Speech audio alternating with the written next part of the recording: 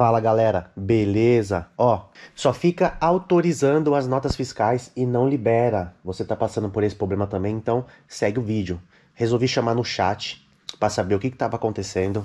A atendente do chat falou para mim mandar um print do que estava acontecendo, então eu chamei lá, né? Eles perguntou o que estava acontecendo.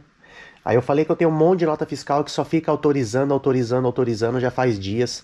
Tem algumas que já faz horas que está autorizando e não autoriza. Eles falaram que é uma instabilidade no sistema e que isso vai se normalizar rapidamente. Porém, para quem não quer continuar passando por esse problema, não quer ficar continuando aí dependendo do emissor da Shopee, primeira coisa, galera, recomendo você utilizar o Bling. O emissor do Bling hoje é a melhor opção para você estar tá fazendo suas notas fiscais e transmitindo elas para a plataforma. Então, você se cadastra no Bling, para você que não tem Bling, você se cadastra, primeiro mês é grátis.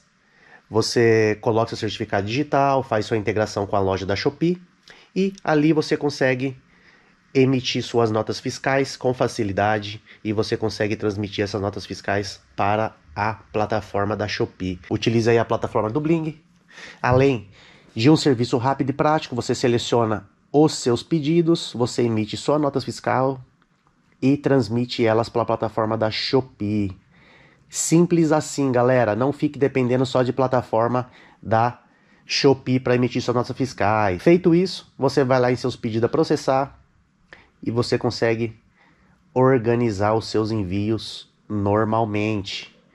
Um erro é a gente ficar dependendo dessa plataforma que todo dia vem mudando, todo dia tem mudanças. E para galera que não tem noção por onde começar, coloca o modo férias, se cadastre no Bling, faça seu teste e depois ative sua loja normalmente.